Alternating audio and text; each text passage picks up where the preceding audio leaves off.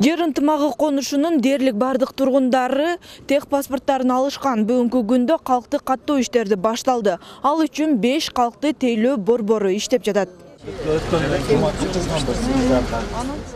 дүйшайым мусабекова тех паспорттун негизинде жашаган жерин мыйзамдаштыруу аракетин көрүп жаткандардын арасында. Ал жер ынтымагы конушунан жети жыл мурда жер тилкесин сатып алган. Бирок азыркыга чейин турак жайынын тиешелүү документи жок. Мындан улам неберелерин мектеп бала бакчага берүү ооруканага көрүнүү сыяктуу социалдык кызматтарды алууда бир топ түйшүккө кабылчу ушу жети жылдан бери документи жок жашап жүрдүк тууган уруктардын немесине учетуна турабыз кайра ошентип иштерибизди бүтөрүп жүргөнбүз жер ынтымагынан дээрлик бир миң эки жүздөй үй бүлөгө тех паспорт даярдалган тургундар буга чейин мындай жоопкерчиликти эч ким мойнуна алгысы келбегендиктен бир топ кыйынчылыктарга дуушар болушканын айтышууда көп эле кыйынчылыктар болду жана шайлоолорго катыша албай калдык ар кандай э, балдардын документин алаганга справка жок ошолорго катыша албай калдык. Азыр ушу учетко туруп атабыз аябай сүйүнүп атабыз элдин маанайы да жакшы конушту мыйзамдаштыруу иши үч ай мурда башталган. Он сегизинчи ноябрда президент садыр жапаров жашоочулар менен жолугуп мамлекеттик тиешелүү органдарга маселени иликтеп чечим кабыл алууну тапшырган. Учурда каттоо кызматы менен райондордун администрация кызматкерлери бирге жаңы конушту толук мыйзамдаштыруу аракетин улантууда.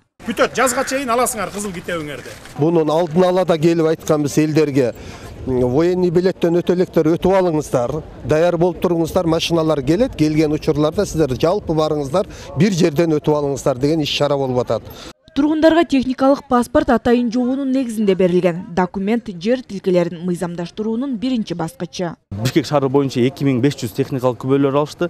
Ошол техникалык күбөлөрдү алгандар э, каттоого туруп жана э, башка документтерин ала алышат жашаган жеринин техникалык күбөлүгү бар. Жарандар төмөнкү документтердин негизинде каттоого тура алат уруксаат берилбеген тилкелерде туруктуу жашаган жарандарды каттоо үчүн зарыл болгон документтердин тизмеси. Кыргыз республикасынын жаранынын эки миң төртүнчү жана эки миң он жетинчи жылкы үлгүдөгү паспорту уруксаатсыз курулуш үчүн техникалык паспорт. Он алты жашка чыга элек жана эки миң он жетинчи жылдын үлгүсүндөгү паспортту өз убагында албаган он сегиз жашка чейинки жарандардын туулгандыгы тууралуу күбөлүгү жубайлардын ата энелердин жана балдардын туугандыгын ырастоочу документтер. Туулгандыгы тууралуу күбөлүк никени каттоо жөнүндө күбөлүк чакыруу же контракт боюнча аскердик кызмат өтөп жаткан жарандар үчүн аскердик билет. Эркиндигинен ажыратуу жайларынан бошотулган жарандар үчүн. Эркиндигинен ажыратуу жайларынан бошотулгандыгы жөнүндө маалым кат жашаган жери тууралуу жергиликтүү аймактык башкармалык кварталдык комитет жана башка органдар тарабынан берилген маалым кат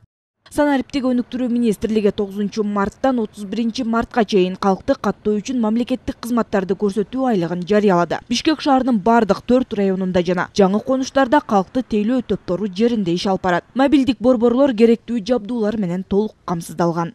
Бактыгүл султанбек кызы азамат кыдыр токтоев ала тоо жыйырма төрт